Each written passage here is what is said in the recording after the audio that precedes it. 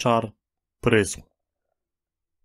Jedynym zaklęciem, jakie zostało rzucone na kadrę Brzęczka, to chyba jakieś czarne zaklęcie, bo jeśli przypomnimy sobie i mieliście okazję czytać książkę Harry Potter, to jeden z głównych bohaterów, czarny charakter, czyli Voldemort, był osobą, której bało się całe środowisko czarodziejów. Mówiło się o nim, że jest tym, którego imienia wymawiać nie wolno. Po meczu z Włochami Robert Lewandowski został zapytany przez dziennikarzy TVP Sport na temat taktyki na ten mecz. No i zapadła taka kilkunastosekundowa cisza. Widać było zmieszanie na twarzy Roberta. Widać było, że nie wiedział, co ma powiedzieć. Pomyślałem sobie, że ta historia, ten moment przypomina mi właśnie tą sytuację z książki. Wydaje mi się, że Jerzy Brzęczek jest tym, o którym słowa powiedzieć nie można. Nie widać było to po Robercie, że chciał powiedzieć wiele, ale coś go blokowało. Że irytacja, która w nim się buzuje, sięga już powoli zenitu i szkoda, naprawdę szkoda, że nasz kapitan nie powiedział, co naprawdę leży mu na sercu w tym momencie, bo mam wrażenie, że bez tego polska reprezentacja nie zrobi już kroku do przodu.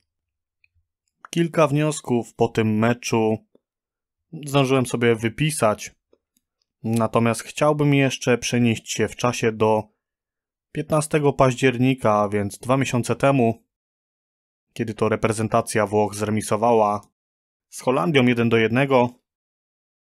Wtedy Roberto Mancini powiedział po tym meczu, że pomimo tego, że są oni na drugiej pozycji, to jest przekonany, że kolejne dwa mecze wygrają, czyli z Polską i Bośnią i Hercegowiną i wygrają po prostu tą grupę. Roberto Mancini nie jest czarodziejem, nie jest jasnowidzem, nie ma zdolności przewidywania przyszłości. Roberto Mancini był realistą i jest realistą. I pomimo tego, że jego zespół został zdziesiątkowany kontuzjami bądź sprawami związanymi z pandemią, pomimo tego, że on sam z powodu COVID-u nie mógł zasiąść tego dnia na ławce rezerwowych jako trener, plan został wykonany. Mecz z reprezentacją Polski wyglądał jak spotkanie doświadczonych piłkarzy z dopiero uczącymi się dzieciakami z Orlika. I teraz moje wnioski, które pozwoliłem sobie wypisać i troszkę je skomentuję. Po pierwsze, reprezentacja Polski wyglądała jak zlepek przykładowych piłkarzy, którzy grali ze sobą po raz pierwszy. Niestety nie dało się oprzeć wrażeniu, że piłkarze nie, nie komunikują się ze sobą, że nie wiedzą, co jeden od drugiego wymaga, nie pokazywali się na pozycję, nie próbowali grać na jeden kontakt, nie mieli pomysłu, jak rozegrać pomiędzy sobą piłkę. Wyglądało to, jakby po raz pierwszy spotkali się po prostu na boisku. Wniosek numer dwa. Jaka tak naprawdę była nasza taktyka na ten mecz? I to jest to, o co został zapytany Robert Lewandowski. Czy widzieliście jakąś taktykę i pomysł na grę w tym meczu? Czy widzieliście, że chcemy na przykład grać z kontry i poczekać, aż Włosi się troszeczkę wyszaleją i będziemy próbowali spróbować swojej szansy właśnie z kontrataku, bądź nie wiem, spróbujemy zagrać pressingiem, narzucić swój styl gry, yy, może uderzać z dystansu. Taktyki żadnej nie było, nikt nie wiedział, co ma robić. Wszyscy biegali jak ślepe kury i tak na dobrą sprawę większego chaosu, no już bardzo, bardzo dawno nie widziałem w poczynaniu reprezentacji Polski. Wniosek numer 3. Przestańcie oglądać sztuki walki.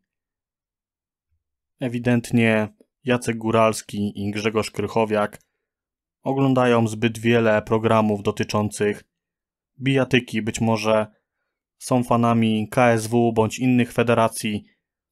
Chyba muszą na jakiś czas zrobić sobie przerwę, bo tak wzięli sobie to do serca, że zapomnieli chyba przez chwilę, że grają w piłkę nożną. Powalenie na ziemię Belottiego przez Krychę było sytuacją co najmniej komiczną, Podobnie jak faule Jacka Góralskiego te ostre wślizgi. Obaj piłkarze chyba muszą sobie zrobić odpoczynek od kadry i przypomnieć sobie, jakie są zasady gry, w którą grają na co dzień, czyli piłka nożna. Wniosek numer 4. Panie selekcjonerze, nie zrzucajmy winy na młodych piłkarzy, podpierając się tym, że nie mieli oni czasu na regenerację. Młodzi piłkarze potrzebują swoich starszych kolegów na boisku, by ci stopniowo wprowadzali ich do kadry. W meczu z Włochami tego doświadczenia nie było widać, bo ci starsi piłkarze po prostu irytowali się machając rękoma, jak Kamil Glik, jak Janek Bednarek, jak Robert Lewandowski.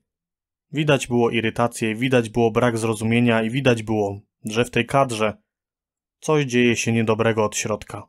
Wniosek numer 5. Arkadiusz Reca może i jest dobrym piłkarzem na kroton, natomiast już w meczu z Bośnią i Hercegowiną do momentu tej czerwonej kartki dla Bośniaków oni tam bardzo często używali lewej strony, na której był Reca i widzieli, że jest słabym punktem tego zespołu. Włosi robili dokładnie to samo, a Bernardeski pokazał Recy, jak gra się w piłkę nożną. Wniosek numer 6. Wojtku Szczęsny, dziękuję Ci bardzo za wszystkie interwencje w tym meczu.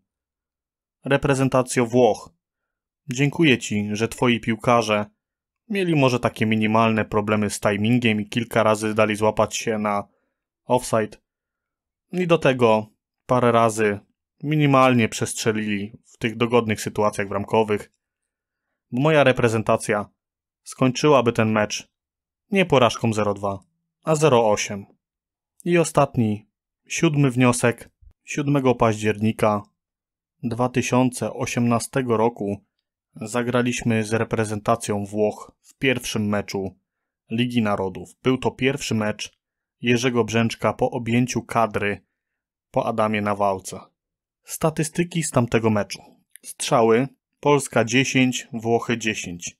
Strzały celne na bramkę Polska 4, Włochy 2.